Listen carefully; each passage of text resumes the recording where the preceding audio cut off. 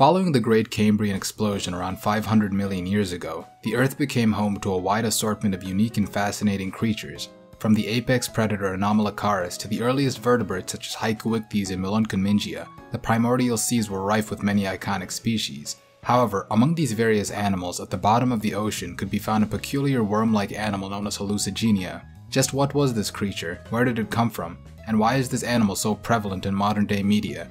Today we're here to dive into the mysteries behind this spinal worm. The name hallucigenia refers to the dreamlike quality the animal's appearance has. It was originally described as Canadia sparsa by Walcott in 1911, but then given the hallucigenia genus name by paleontologist Simon Conway Morris when he first found it in 1977 in the Canadian Burgess Shale fossil field. When it was first found, scientists weren't exactly sure what group of animals hallucigenia even belonged to, with some even suggesting that given its odd appearance, it might actually be part of another animal. Later research found, however, that it probably belonged to the taxonomic group Onychophora, which today consists of velvet worms. Looking at the two animals side by side, there definitely is a resemblance, but Hallucigenia still looks different to anything we have on Earth today. Back when it still had the genus name of Canadia, this animal was thought to be part of the class Polychaeta, which are more commonly known as bristleworms. Nowadays, however, hallucigenia is known to belong to a larger class of lobopodian worms known as Xenusiids. These animals are known for having long cylindrical bodies and stubby legs with tubercles at their ends. Within Xenusiids, the order Scleronychophora, which include lobopodian worms with more protected and armored bodies, and it's within this order that we can find hallucigenia.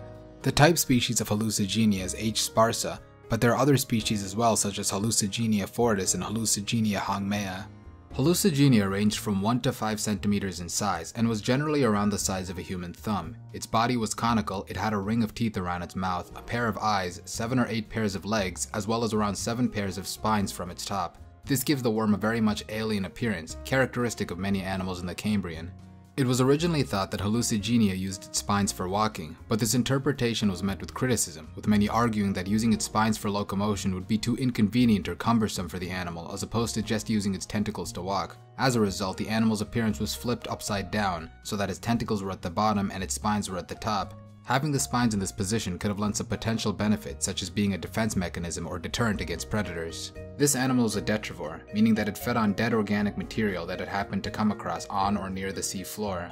The Hallucigenia genus has been present in fossil deposits around the world, from the previously mentioned Burgess Shale in Canada to Chengjiang in the Yunnan province of China.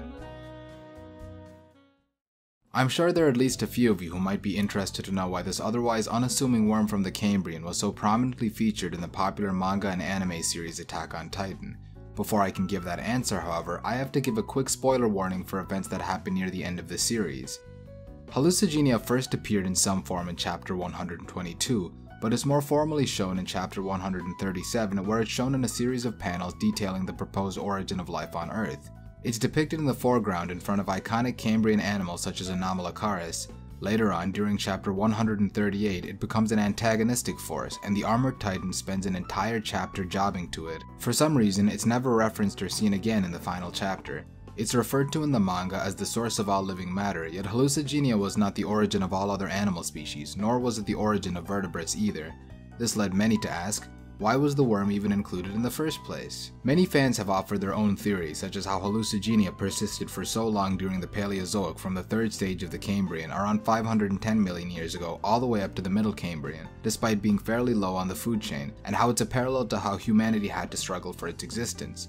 I think these theories are all valid and fit with the themes of these series, but given that the creator Hajime Isayama threw the themes of the series out of the window with the final chapter, I've come up with another theory, you see, I believe that the creator of Attack on Titan is a complete and utter hack